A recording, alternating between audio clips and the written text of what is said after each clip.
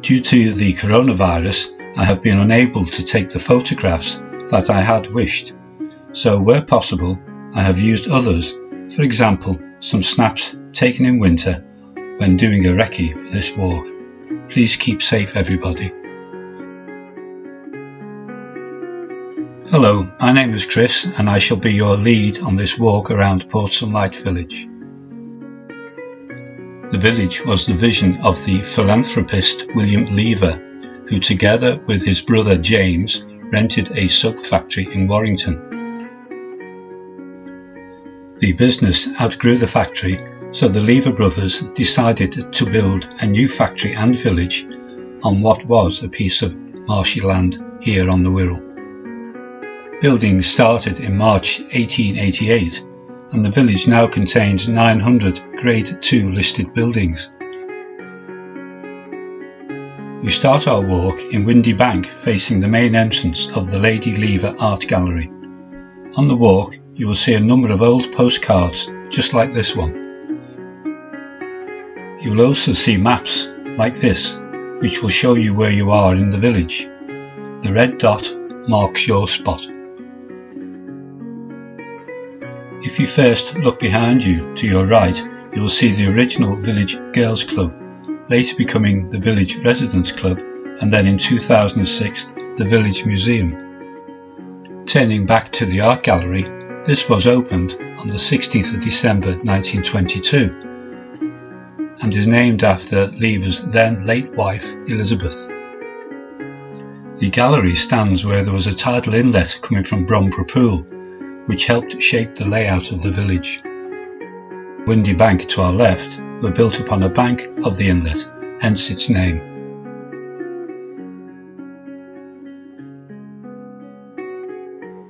Walking to the left of the gallery, you will see before you a black granite obelisk.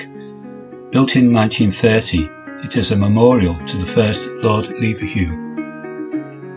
The figure on the top represents inspiration whilst the figures on the base represent industry, education, charity and art.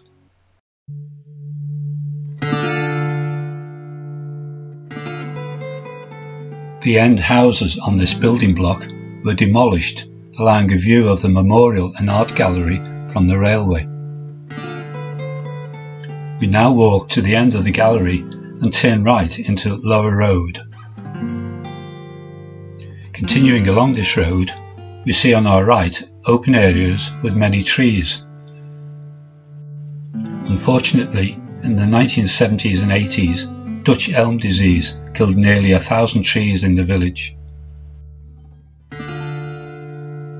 Crossing the junction with Central Road, if you look to your right, you will see a working red telephone box. Continuing up Lodge Lane, now closed to traffic, you will see the Leverhulme Hotel. This was the original village cottage hospital and above a door you can see the original entrance sign for the outpatients department.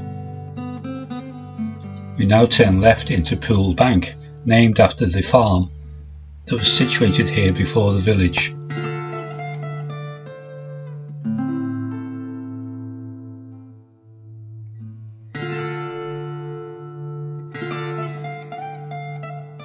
The seats here reflect the community feel to the village that Lever was keen to promote.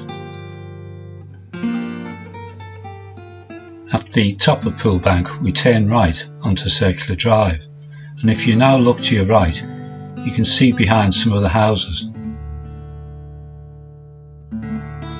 The original plans for the village had such areas for garden allotments but most are now grassed or used for parking.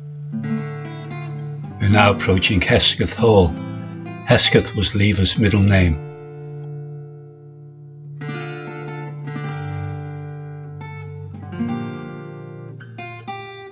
This was a technical institute. Lever had a great belief in education and that his employees should have more opportunities to better themselves. In later times it was used by the British Legion before being converted into 14 apartments in 2014. Retracing our steps, we move into Boundary Street.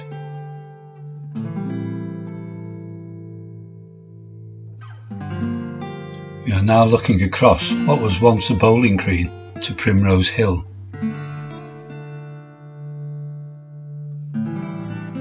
We heading towards what was once a Victorian terrace slum area before Lever built his village. Now even the street name plaques are posh.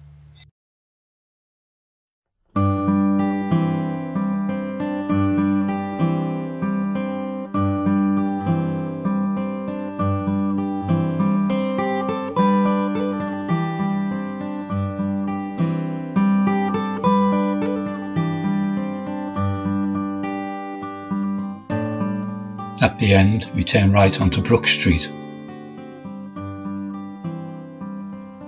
Here you will find the Railway Inn, built before the village was started.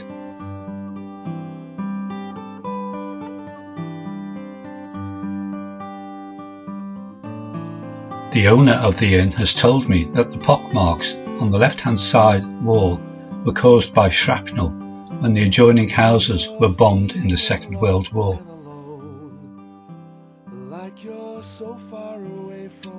Opposite the inn are the Duke of York cottages. Levers offered their workers a pension scheme and these buildings were designed for those pensioners. We now walk along Greendale Road, passing the closed off junction with the bottom of Primrose Hill.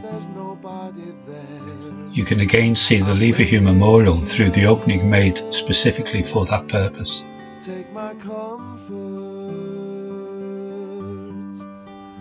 The black and white timbered buildings were modelled on Kenyon Peel Hall in Salford near Manchester. The original hall was demolished in the mid 20th century.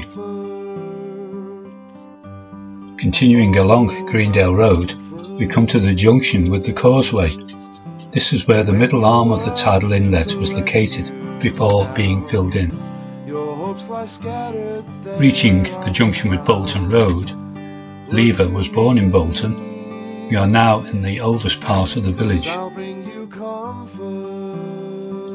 On the right is Port Sunlight Railway Station, opened in 1927, whilst on the left was the first village shop opened in 1891. It then became the post office before its present use as a cafe. Looking down Park Road, on our left, you can see where a fountain used to be.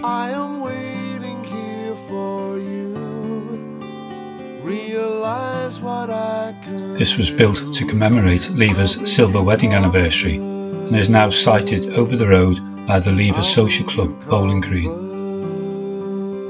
The building was originally known as the Pavilion. To the left, this building was the Girls' Hostel, built in 1896, where single working girls were housed. It was not very popular and so was later used as a free library and museum for the workers is now a bank. The building was designed by Maxwell and Tate, the designers of Blackpool Tower. To the right is the Gladstone Theatre.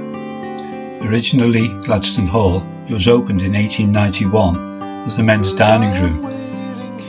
The dining hall, which displayed paintings from Lever's collection, moved to the factory in 1910, so the hall was then used primarily for entertainment. The projection room on the end was added in 1911. Let you feel my comfort.